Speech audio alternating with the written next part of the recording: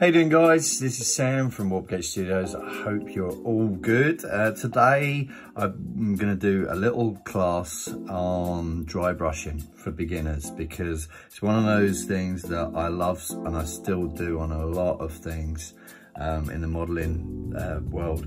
Um, and I've got a selection of metallics today, so we're gonna do some metallic dry brushing on metals. So these are the, the four paints I'm gonna be using pretty much. Um, Vallejo uh, Model Metallic Black, which is um, a real dark metallic color, which is really, really good base. Leadbelcher from uh, Citadel, and then three more from Citadel to give me some, some different finishes. So brass, gold and a real bright silver. So without further ado, I'm gonna kind of go into the technique of dry brushing and what you should really be doing. And then we'll kind of go from there. I start with a, I'm gonna grab this as my palette here because I don't like using uh, it straight onto the, um, uh, the, the, the surface here, the towel that you use, the kitchen towel or tissue or whatever you're going to use. So um, I'm going to use, uh, you can kind of see how dark this uh, Vallejo black metallic is. Super, super nice paint um, and uh, it's a real good start for a lot of metallics.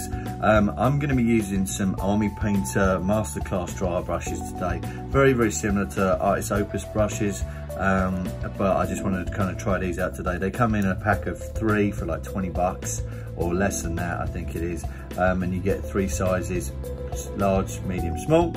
Um, I'm going to grab the large one today and start off by just dabbing this on. So the whole process of dry brushing is getting your brush loaded up with, with the paint and then taking a lot of it off um, when you are dry brushing. So dry brushing, wow, the camera's moving there quite a bit. Um, dry brushing for this, uh, there are different techniques and with me putting base coats on, I'm gonna leave quite a lot on there still, as you can kind of tell while I'm, I'm doing this. And then I'm just gonna literally brush. It's like an up and down motion, similar like chopsticks. And you literally get it and then just start brushing it over the model and you can kind of see it, it taking some shape there. And I'm just gonna give this a, this whole model a coat of this of this dark metallic, just A, so I can kind of start seeing where all the edges are. Um, but I wanna kind of just get this, this on here and start building up some layers. Um, so you can kind of see putting this on here. And if I need any more, I can just go back to this or go back to my palette, grab a little bit more and then just get this on here. And you can start seeing that the dry brush has really, it's not a, a large coat. It doesn't give it, a, it just picks out um, the areas that I'm going to be working for. And that's what I like with dry brushing is the fact that all it does is just, it gets paint on there, dries very, very quickly on the model because there's not a lot of it. Um, but it's really there just to pick out all of the edges. And you can flick up and down or you can go in a circular motion to get all that texture if you want with a dry brush. And as I said, there's not really a lot of paint. You can't see the wetness on there. There's not a lot of wet paint on there. It just dries very, very quickly on the model, um, but gives me a really good base to start with. So this is gonna be my base coat on this model here. Um, so again, I've, I've taken a, a, black prime model, given it a coat, and you can start seeing that it's picking out with the, the metallic side of things, um, the textures, on the, the metals. This is a 3D printed uh, model. You can kind of start seeing it's, it's pick, picking out some of these, these textures. So the next thing I'm gonna do is I'm gonna wash my brush, uh, my heavy brush out and give that a, a, a, clean. And then I'm gonna start working with some other types of brushes. So this isn't necessarily, this is just a cheap crap brush um, that I picked up. This can also be used for dry brushing as well because this is, you know, you don't need a specific brush like this to dry brush. It does help, but you can also dry brush with, with brushes like this. Um, and what I'm gonna do is I'm now gonna give um, the, the uh, model a lighter dry brush. So you're working on the layers and I'm gonna work up with a lighter silver color um, on my palette and just kind of work up to the really bright color here. Um, so next next coat is going to be Leadbelcher. Um, and I'm gonna grab a little bit of this on this massive brush. And again, get vast majority of the paint off. You can still see it. To check if you've got enough paint, grab your, your finger here or your thumb and get the little grooves on your thumb and just start flicking it over because if you can then kind of tell, okay, I've got a bit too much on there. Um, and you, you don't want a lot on here when you start building up the layers. Um, so again, I'm gonna just check on another another thing here. Yeah, there's a little bit less on that on that finger and that's what I want. So what I'm gonna do now is again, grab on here and just start working on building up on just the corners. So this should be just picking up the corners and the edges of the model uh, with the lighter brush. Um, and you can kind of just start seeing it picking out even more detail the model. And it's, it, it's, it all comes together when you get to that final layer. But as you can kind of see in, in here like this, down here, there's not going to be a lot of metallic showing, it's just a natural shade. And I'm just going to be working on the top here, flicking the, the brush over the model and giving it some texture. Okay, um, so that's what I'm going to do with that. I'm, I'm kind of happy with that. It's, it's enough on that model from here. And I'm going to wash this brush up and I'm going to slowly get more and more refined with what I'm doing. Now I'm going to take a bigger brush and we're going to do a little bit of brass scorpion on just a few panels on this now just to kind of get this picked up. So this is a brass scorpion nice layer. It's quite a thick layer paint from uh, uh, games workshop um, and it, it actually does really really nicely go on the model. So again dip it on the model onto your palette and you can kind of see there's a little bit of a brownie, more brownie tinge to it. And I'm just gonna work out what I'm gonna pick out. So I'm gonna actually go for these pipes. These pipes are gonna, I'm gonna work on them with the dry brush. There's quite a bit of paint on this. I need to get some of that off. Um, and I'm just literally gonna paint and dry brush these pipes.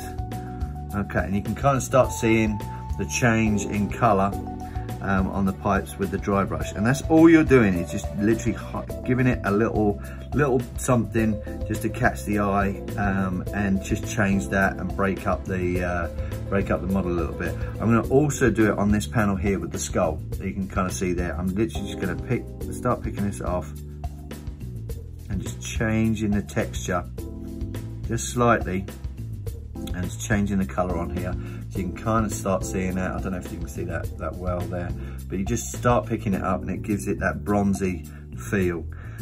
Um, and I'm gonna do the same on the other side as well. So I'm just gonna pick this, this panel up. And again, you don't need to be really neat with dry brushing because there's not a lot of paint on your on your brush to start with. So it's pretty good just to pick out a little bit So there's there's that, there's that, and there's some silver and the pipe. So I'm, I'm, I'm pretty pleased with that with the bronze. Um, and now, I'm again, I've finished with the medium. I'm gonna uh, throw that into my, my uh, pot to get washed. Um, and then I'm gonna try some Retributor Armor. And this is the last one before I'm gonna get to the crazy um, bright silver. I'm gonna put a little bit of this gold on here. And this is gonna be even brighter than the bronze. I do like this on, the on different um, fully metal models because getting some different colors on there, it just stops it from being boring. Um, so I'm gonna have a quick look on here and I'm gonna go, okay, well, there's a couple of pipes that I could maybe do. There's maybe some of this control panel that I'm gonna do and some maybe some, some little pipes down here as well. So I'm gonna try and pick them up. Um, and again, I'm gonna make sure there's, there's quite a bit of paint on there. I'm gonna take some of that off uh, and then just literally highlight and just flick with the brush on there and then flick up here. As you can see, it's kind of picking out things nicely. Uh, I'm going to do these top two panels as well.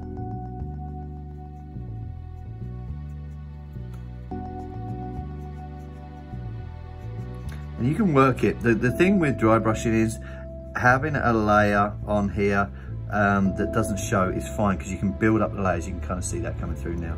Um, it's fine building it up. What you don't want is a really heavy layer and having to start again. So it's always better to have a lighter impact on the model and then work on it. Okay, that's looking pretty good as well. So there's those two panels on there on the top.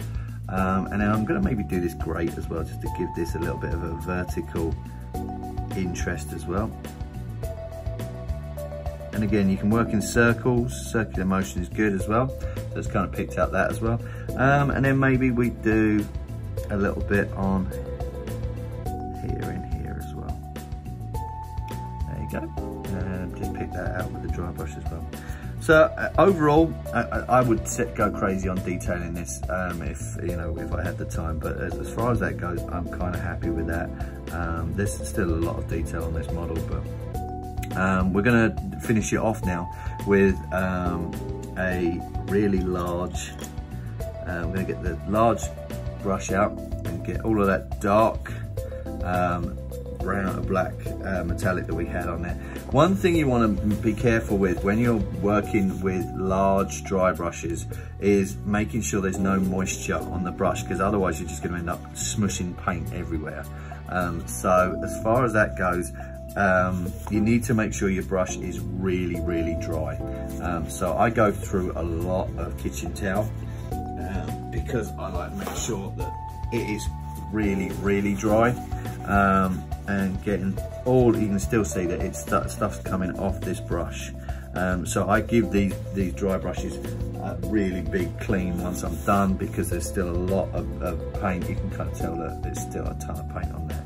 But for this um, exercise, I'm just gonna get some uh, this really bright Stormhost silver paint onto uh, on the, the, the, brush because this is gonna just tie everything in nicely with a, just a really nice um,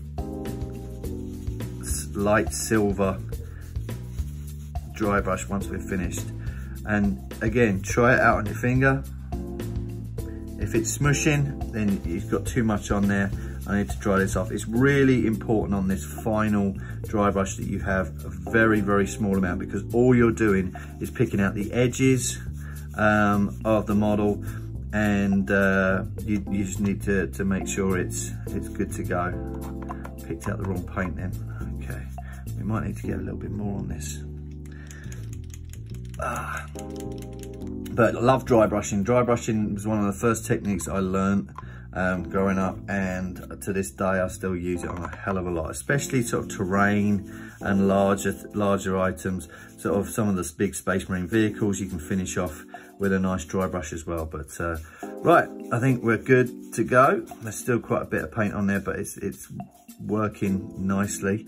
Um, and I'm just gonna do a real big pick out, yeah, I'm not sure if you can kind of pick that out, but you can kind of go over the stuff you've done as well, uh, the different colors, dry brushes.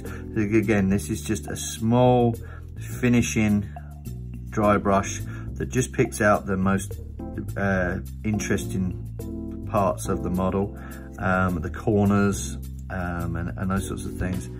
Uh, and all of the rivets and those sorts of things as well.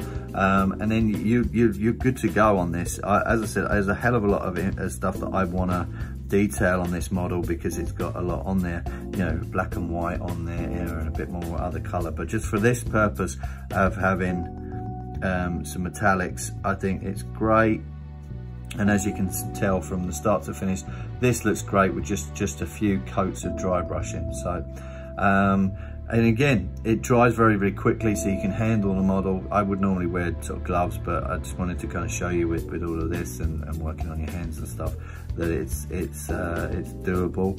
Um, and yeah, you know, I hope that's been of help by all means, please sort of ask any questions. There's stuff that I might have missed. But as far as, as dry brushing goes, it's a super fun thing to learn with. Make sure you've got some old models to do it with and you'll end up having some fun building some layers and colors with, with metallics and, and other colors as well. So but if you like this video, please like and subscribe. I'm going to be do, using this same model for the next uh, video, which is going to be using some rust and working on rust and aging. Um, so yeah, I'm going to be using this shortly on another video, so stay tuned for that. But thanks ever so much for watching. Please like and subscribe if you like it and leave me a comment. Thanks ever so much. Cheers. Bye.